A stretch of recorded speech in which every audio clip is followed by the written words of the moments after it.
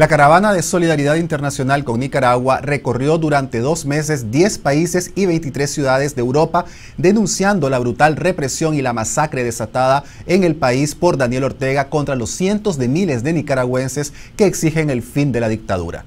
Y para hablar sobre el trabajo de esta caravana, hoy nos acompaña vía Skype la estudiante Madeleine Caracas, que participó de esta iniciativa. Buenas noches, Madeleine. Hola, Carlos. Gracias por invitarme a este espacio que es tan valioso. Madeleine, ¿cuál ha sido el impacto que han tenido estas denuncias que ustedes hicieron en varios países de Europa? Claro, bueno, nosotros, eh, a mí me acompañaron dos mujeres increíbles también, que son Jessica Cisneros del Movimiento Cívico de Juventudes y Erling Aguilera, profesora de la UCA y de Lupoli, quien es socióloga también. Entonces, el impacto para nosotros fue paulatino, cuando iniciamos fue en mayo y no se conocía mucho, de Nicaragua comenzamos en Dinamarca y de ahí comenzamos la caravana donde cada vez más los periodistas, los medios de comunicación, en sí las organizaciones de derechos humanos, eh, los políticos se fueron acercando y abriéndonos las puertas un poco más a nosotros. Hasta ahora hemos tenido contacto con la Federación Internacional de Derechos Humanos en Francia. Hemos ido a todos los parlamentos de los más de los 10 países que visitamos entre ellos el, el, Parlamento donde está la sede de la Unión Europea en Bélgica, Bruselas, y también yo que fui al Parlamento en Estrasburgo cuando se dictó la resolución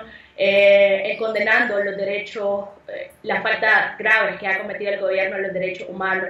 Eh, entonces creo que el impacto en los medios de que ya se hable un poco más de Nicaragua, de que se ponga en agenda eh, el impacto en el cual hemos conseguido contactos de organizaciones que podrían ayudar, porque sabemos que no solo la crisis ahorita, sino después en la reconstrucción del país, vamos a necesitar reactivar todos esos lazos de solidaridad en sí. Entonces creo que hasta ahora ha sido eh, un, un gran impacto y seguimos viendo los frutos y seguimos tratando de sistematizar toda esa ayuda.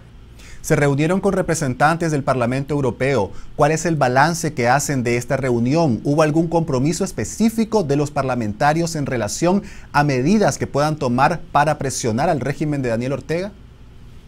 Sí, yo creo que al inicio fue solo una resolución como tal, pero también se está hablando de medidas de presión. Claro, nosotros siempre apostamos a sin caer en el injerencismo que hablamos, sino también en el cual el pueblo de Nicaragua no siga sufriendo más y quienes sean castigados sean directamente los gobernantes y los responsables de esta masacre. Entonces, esto, esto ha sido, creo que esto se va impulsando. Nosotros, para, para entender un poco el impacto y para entender un poco el trabajo, nosotros no solo llegamos y nuestro trabajo termina ahí, se construyó a través través de los grupos de solidaridad de nicaragüenses que residen en cada país. Estos esfuerzos y estos grupos son quienes darán continuación a los trabajos que nosotros fuimos enlazando y quienes dejamos conectados allá.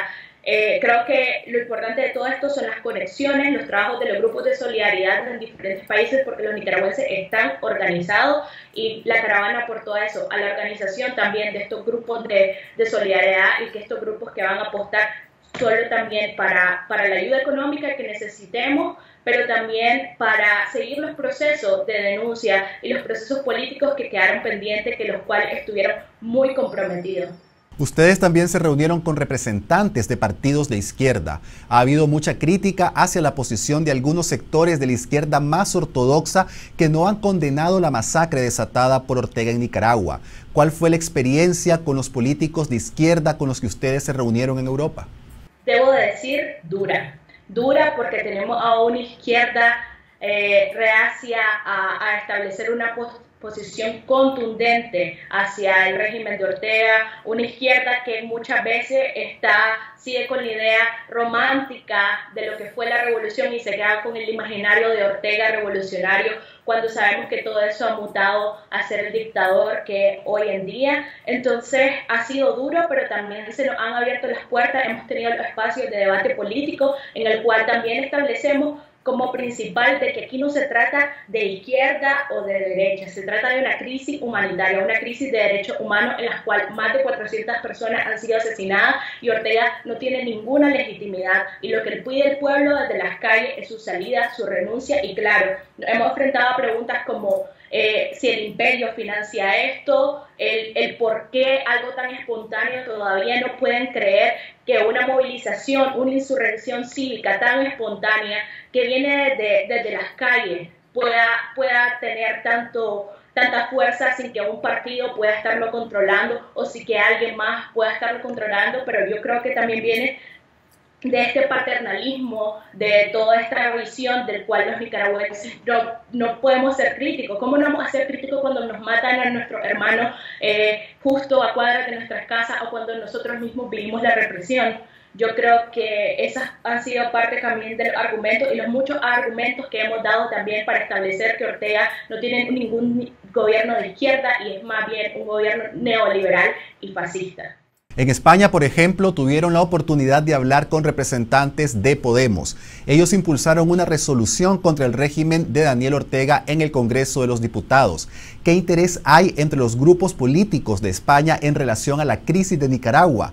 ¿Está en su agenda esta crisis? Sí, es que yo creo que hay que entender el panorama que es aún, más grande. Yo creo que también el hecho de que la izquierda también esté un poco reacia es que eh, la revolución significó mucho para la izquierda en general y no solo para Latinoamérica, sino también para el mundo. Fue algo que marcó un hito histórico y que afectó también y que a, muchos países y la ideología, que se acopla la ideología de, de muchos de los sectores de la izquierda. Entonces creo que a ver, para entender esto eh, es importante como tratar de conversar, de conversar esto con estos partidos y que estos partidos tomen eh, una posición. Hasta el momento es difícil tomar una posición porque eh, las pruebas y las mutaciones de Ortega no, no, no han sido tan evidentes a nivel internacional en Nicaragua lo sabemos, pero lo del canal, eh, el pacto con la derecha y todas estas acciones que, que, Ortega ha venido haciendo a través de los años, creo que no son tan escuchadas y no ha sido tan vista por estos sectores. Sin embargo, hay un miedo también de qué viene después de Ortega.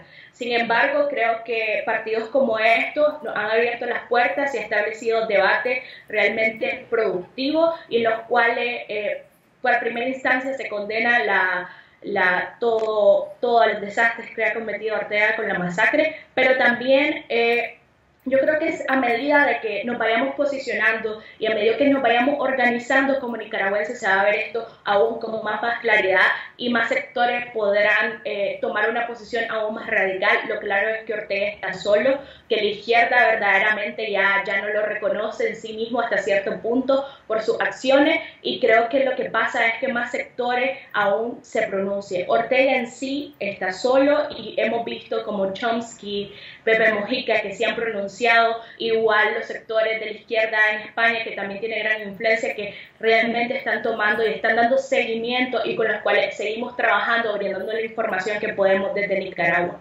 Ustedes participaron en varios eventos para denunciar lo que ocurre en Nicaragua y en algunos de ellos fueron boicoteadas. ¿Quiénes realizaban este tipo de boicots?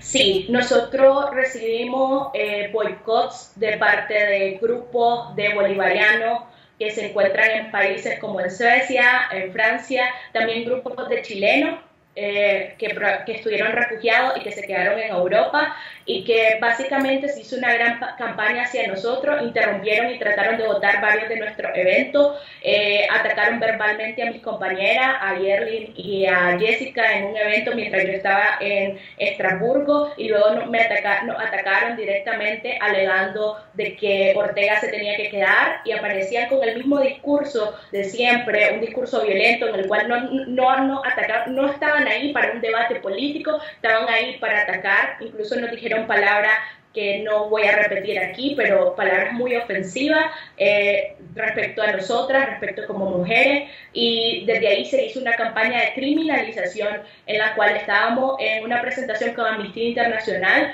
unos grupos atacaron de la forma más agresiva y ahí desde ahí salió este tipo que comenzó a decir que él era testigo, que nosotros llegamos a pedir dinero para armas y bombas y es por eso que nos podríamos encontrar ante una una posible criminalización y un posible encarcelamiento con la parte del terrorismo, la nueva ley antiterrorista. Entonces hemos recibido esos ataques verbales eh, por las redes sociales, igual ciudadanos europeos nos atacaron. En Francia se, se detuvo gracias a la población nicaragüense un ataque y así vivimos como con ese tipo de ataques y boicots que hoy la caravana de solidaridad que estaba en Chile recibió los mismos ataques y, es lamentable pues como Ortega tiene estas redes y como el fanatismo todavía sigue de parte de una izquierda que realmente rancia, que ni le llamaría izquierda, que se quedaron con la vieja data de, de, de, de qué fue eh, Daniel Ortega pudieron conversar con estas personas qué excusas pusieron para apoyar a un régimen que ha matado a centenares de nicaragüenses.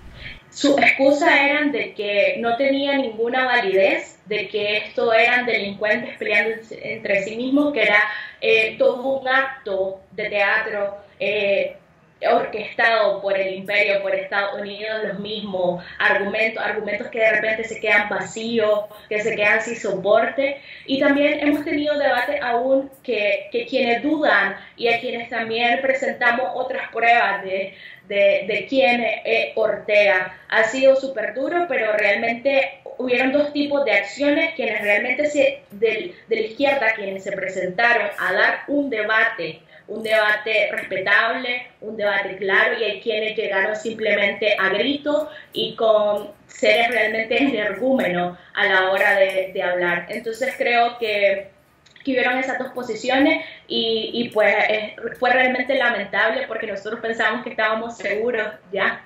Y, y, recibimos, comenzamos a recibir las amenazas y los ataques, incluso dijeron que ellos ya sabían qué iban a hacer con nosotras después. Entonces son, son esas cosas que son increíbles. Ya para concluir, Madeleine, ¿ha terminado esta caravana o continuarán su gira en denuncia de lo que ocurre en Nicaragua? Sí, ok. Actualmente, eh, bueno, la, la, caravana es parte de la articulación de movimientos sociales, que es la organización donde están todos los movimientos sociales feministas, ambientalistas, etcétera, en Nicaragua. Y también eh, de ella también es parte de la coordinadora, de quien soy parte, la coordinadora universitaria por la democracia y la justicia. Entonces, a través de esto, la caravana, la caravana fue la primera eh, en Europa. Y ahorita está la caravana del sur, que están compañeros de la coordinadora y, la, de la articulación, está la caravana en Centroamérica y está la caravana del norte, que irá a diferentes estados de los Estados Unidos y Canadá. Entonces los esfuerzos siguen haciéndose y seguimos tejiendo eh, quienes están en Europa hay un equipo ya que le está dando seguimiento y todo esto es de seguir tejiendo esfuerzos y buscar cómo ayudar a Nicaragua, tanto en esta crisis humanitaria, a los refugiados, que ahora tenemos un gran problema de, de refugiados quienes están en el exilio, bueno, me incluyo. Eh, quienes no podemos regresar por esta situación, por amenazas, por las órdenes de captura y quienes realmente no la estamos pasando fácil. Yo realmente eh, en Costa Rica hay una gran crisis ahorita mismo y creo que esto es parte de los esfuerzos que tenemos que velar y los cuales tenemos que ver y esto solo lo podremos hacer todos. Muchas gracias Madeleine Caracas por esta entrevista. Muchas gracias, buenas noches y gracias por el espacio y un saludo y fuerza a todos los nicaragüenses que tenemos que seguir luchando.